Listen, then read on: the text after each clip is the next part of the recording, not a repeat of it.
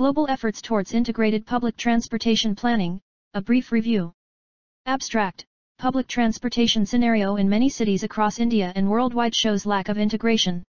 Several existing and proposed transportation modes have been considered in an isolated manner and have been developed independently without giving any due consideration to changing land use dynamics. Due to this, public transportation has become increasingly less competitive and private vehicles have become more popular. In absence of integrated approach, these modes, instead of complementing are competing with each other and resulting into inefficient and poor performance of the transportation modes. This paper attempts to review various aspects of integration of a public transportation system. Various planning models prepared and adopted worldwide for implementing the particular aspects of integration have also been studied.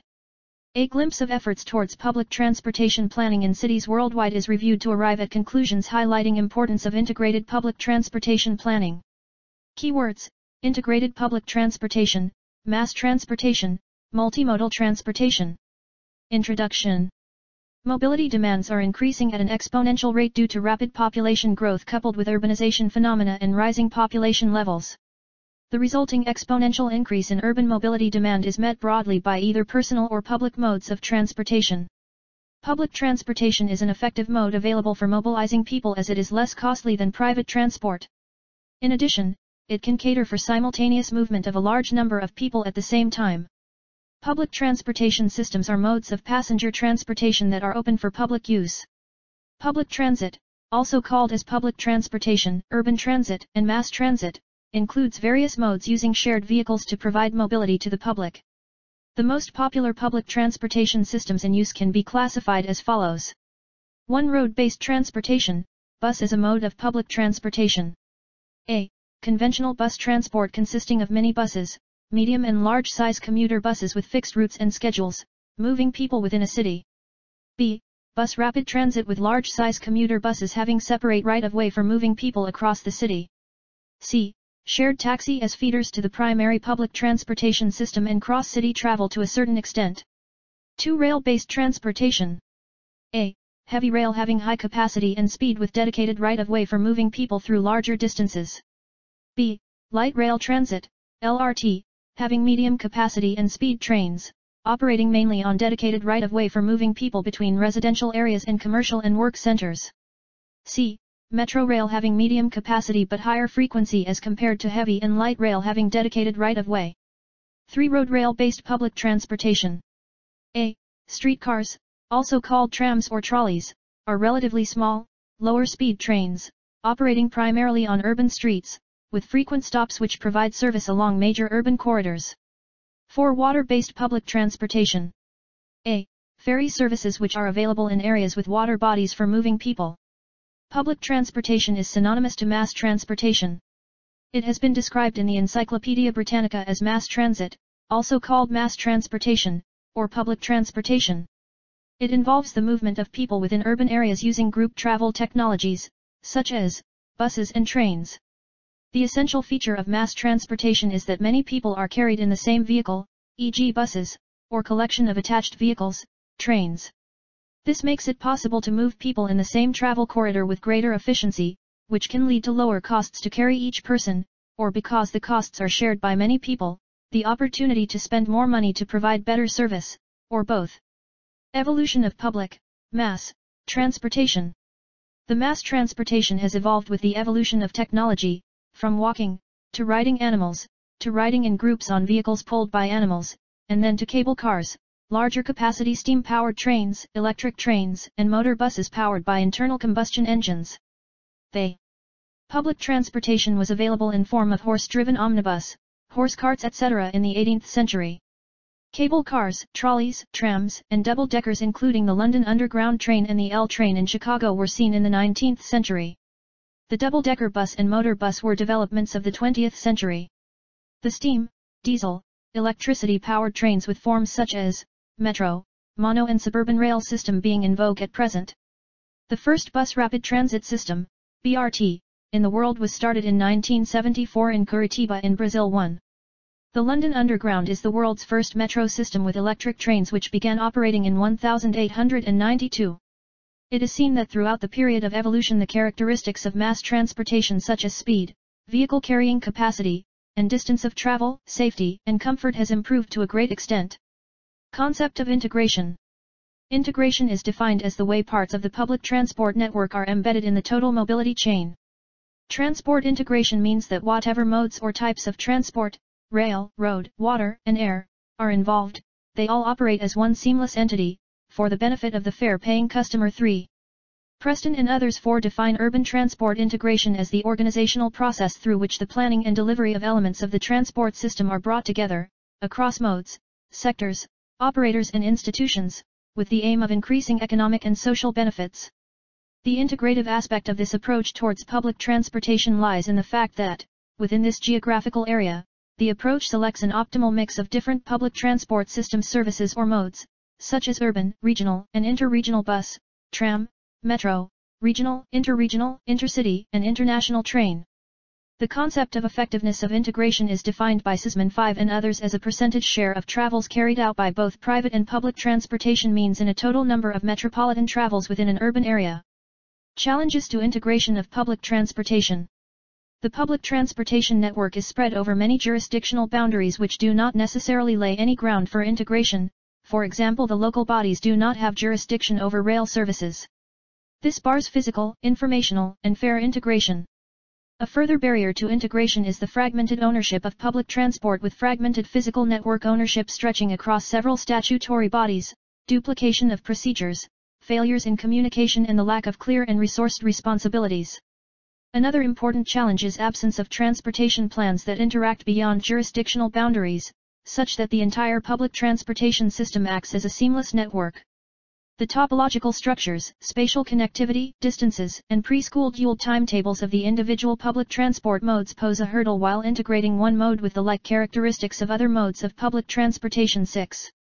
Integration of public transportation The integration of all modes of public transport is necessary so as to facilitate greater mode choice, accessibility, and reduction in waiting times and travel time. Effective integration is possible through a threefold process. The foremost is institutional integration with coordinated planning. Secondly there has to be physical integration, ensuring spatial connectivity of network through interchanges and hubs, thus providing a seamless travel experience. Lastly there has to be integrated operations achieved through information and fare integration. A public transport system is made of three kinds of integration 7. Infrastructural integration, which consists in dedicated transport infrastructures, as park and ride facilities, interchange stations, bus priority lanes. Modal integration, which consists in the possibility to use different kind of public transport modes, bus, rail, within coordinated timetables. Fare integration, which enables passengers to use different transport modes and services with the same ticket. System integration has three levels viz., institutional, physical, and operational 8 and others have further elaborated that institutional integration involves joint planning and operation of services under a unified organizational framework. Physical integration involves connectivity between modes by provision of feeder services and interchange facilities. Operational integration involves fare, ticketing and information integration among modes. Institutional integration Institutional integration consists of formation of a body having a regulatory institutional framework which coordinates between various transportation modes and their providers in such a manner that the entire public transportation system should be perceived by the user as a single seamless means of transport. Institutional integration incorporates taking care of financial, operational, and developmental aspects covering various agencies involved in context to the PT network. Several cities in the world have institutional integration as regards public transportation which has been enumerated in table number 1. Physical integration Physical integration of mass transportation incorporates two important aspects such as availability of interconnecting transportation infrastructure network and public transport modes running on the network. The integration of the transportation infrastructure network is the first step towards physical integration. The next step being integration of various modes running on the network. The integrated public transportation network from the planner's perspective is an interrelated network, nodes being the basic components of the network between which lines are interconnected with intermodal interchanges emerging through the formerly separated transportation system. Intermodal transport can constitute complex trip chains, creating high demands on interfaces and operational integration of the transportation system. 9. The integration of public transportation has been attempted in various cities across the globe by application of transportation models which have been developed for the individual cities. An integrated multimodal transport model, MTM, has been developed by BKK Center for Budapest Transportation Network. It provides for integration of walking and cycling along with local public transport and railways. The network design consists of number of nodes, links, connectors, stop points, and line routes based on travel time 10. Public transportation system can be looked upon as a hierarchical network of public transportation modes. The intercity rail would form the principal stage with the suburban rail, metro rail, and bus rapid systems forming the middle stage and monorail, tramways, regular buses, minibuses forming the lower stage of the hierarchy of the public transportation system. The hierarchical system of physical integration aims at grouping number of travelers and feeding them to higher-ranking public transportation modes. Such a hierarchical public transit network has been proposed by Jian and others 11. It consists of mass routes e.g. rail transit, feeder routes operating along arterial and sub-arterial routes and supporting local routes. A model for optimal trip distance of each route hierarchy type is proposed based on passenger features in the public transit system. The model uses a method of macroscopic calculation on hierarchy planning, which is based on turnover balance between supply and demand of passengers for hierarchy configuration of the public transit network. Such a network ought to be improvised according to rising demands for public transportation. This is attempted in the model developed by Zhu and others 12, which defines new links based on demand using genetic algorithm. It is based on the principle that the potential demand of a link is inversely proportional to the average distance of passengers to be attracted to that link. Further meta-heuristic optimization algorithms have been used by 13 to prepare a multimodal transit model to suggest a strategy for designing transit networks that gives multimodal public transportation options at each stop so that modal split can be facilitated. The model helps in designing multimodal feeder services, coordinating with an integrated transit system and optimization of the multimodal transit network plans. The parameters used for optimization were travel cost, passenger trip demand, fleet size, route length, vehicle length, and headway. The modes of transportation that interact in an integrated mass transportation system are the motorized bus, bus rapid transit, BRT, metro, mono or suburban rail and waterway ferries. There is also some interaction with interregional transport such as state transport buses, trains, and airways. The physical integration between various modes is achieved through interchange stations and multimodal hubs interconnecting the network and the various modes. The regular bus is the most common mode of public transportation in cities. They not only serve as a primary mode of public transport but are also used as feeder services to other modes such as a BRT, suburban rail, metro, or LRT. Operational integration As emphasized by Pawan Kumar 8 the provision of feeder service to various modes of transportation is an important aspect of integration. The integration of feeder bus system to other modes requires design of trip routes, schedules, headways, travel speeds, frequencies and their coordination for the operational integration of public transport modes. This is done by using optimization techniques on the basis of demand and supply figures of potential riders. The routing and scheduling problem was assessed by Liu and Wang 14. They used a compatibility-based algorithm which can allocate seed passengers for initializing and routing routes and scheduling the feeder service. It also can propose a demand-responsive connector to provide feeder service for commuters from and to the transit hub. The next stage in public transportation system hierarchy involves integrating buses with the bus rapid transit system. A nonlinear programming model with single objective and multiple variables using genetic algorithm for coordinated operation BRT and its feeder bus has been proposed by Wu and others 15. It aims at reducing the costs of passengers such as waiting costs, transfer costs, and in-vehicle costs. The model also suggests optimized headways of the BRT and bus networks as an effort to public transportation integration. Integration of feeder buses to railway stations is an important aspect in the public transportation network. Deng and others 16 has proposed a model for an integrated public transport system of a feeder bus network and railway. The model generates optimized feeder bus routes by generating connection relations to bus stops. Its unique feature is that it uses a demand distribution pattern wherein passenger demand is distributed between many railway stations and to many bus stops and that each such bus stop is served by one feeder bus route only and it does not cross its feeder station. A model using genetic algorithm has been developed by the Zhang and others 17 for the passengers who only take bus and the ones who take both the bus and the train in one trip. The results have shown that use of the long-through type bus line and several bus lines with independent operation, integrated with the railway stops respectively leads more passengers to choose combination of faster public transportation trip modes resulting in operational efficiency. A model for operational integration of suburban railway stations and public buses has been discussed by 18. The model uses heuristic algorithm for integrating feeder bus public buses to suburban railway stations. The focus of the integrated public transportation system is the potential rider. Passenger attributes that need to be considered are accessibility to the public transport system, location of stops, access distance, and wait time which is a factor of frequency, in-vehicle time which is a function of headway and vehicle speeds. The last but most important factor is the fare or travel cost. An analytical model has been suggested by Stephen and 19 that optimizes the number and locations of bus stops, headway and fares. It considers discrete demand distribution over a transit route on a realistic street network. Demand decays of the access distance, wait time, in-vehicle time, and fare were also considered along with discrete feasible stop locations.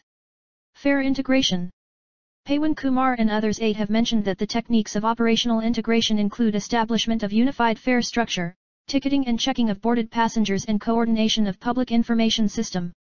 Fare integration has been achieved in many integrated transportation systems throughout the world. Helsinki, Finland, residents have the option of Whim app allowing passengers access to any mode of public transport. The city of Orleans in France, have a plan book ticket app that combines all modes to let the commuter pick the best option. Similarly Portland-Vancouver Metropolitan have our Hop Fast Pass the first virtual transit card whereas Los Angeles region has TAP which links together 24 transit agencies 20. Information integration Information integration is an important aspect that allows a passenger to make travel decisions. With development and growth in communication technology, dissemination of information at the hands of the traveler has become easy through mobile applications and web-based information systems. It was observed that users require well-integrated information systems to use a network efficiently. A model for information integration has been developed in form of free-to-use Android application in Auckland, New Zealand 21. It helps commuters and tourists in decision-making for multi-destination trip planning using public transport. It can provide real-time public transport route information for public transport user multi-destination trip planning. Information systems are helping passengers to make travel decisions based on shortest trip time. Floyd A algorithm has been used by six the authors to determine the least time itinerary from origin to destination in an urban scheduled public transportation network when given initial time to start the travel. An attempt has been made to provide probable travel time in order to choose a public transportation route in an urban scheduled public transport, so that he can select the walk route, boarding and transfer stops to reach their destination as quickly as possible. Integration efforts in cities across the globe. The McKinsey Report 22 includes a study on important aspects of mobility that make transit systems work. This study was done by comparing public transportation networks across 24 global cities. Selected cities mentioned in this report were studied and the efforts towards integration is shown in Table I. Conclusion The integration of public transportation systems has been implemented in various cities worldwide. The strategy of adopting integrated multimodal transportation system is gaining importance.